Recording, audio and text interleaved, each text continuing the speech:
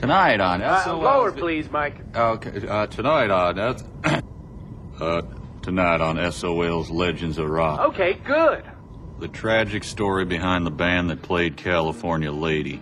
The band that played California Lady began as a duo featuring the Fish Lip Guy and the Eskimo. They developed their sound playing this kind of music in hard scrabble bars before a growing circle of fans. It wasn't until they added the friendly looking backup singer that the band that played California Lady finally hit it big with California Lady.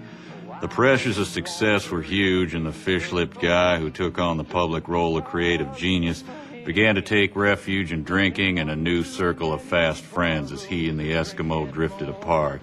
That summer, the band that played California Lady played before nearly 300,000 at Watkins Glen, New York, sharing a bill with Wet Willie and Toots and the Maytals.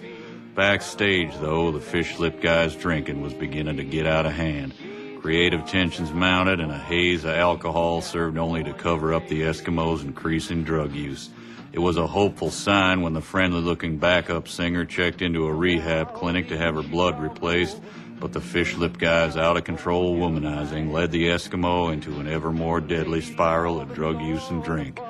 Drug addled recording sessions produced the band that played California Lady's follow up album, the more melodic Rhode Island Lady, but it failed to crack the charts as the band that played California Lady's audience did not follow them into this new territory. By this time, the drugs, booze, and womanizing had begun to replace the music. Friends were troubled as an opportunity to open for Brewer and Shipley on a world tour went by the boards when the Eskimo slipped into a long term alcoholic coma.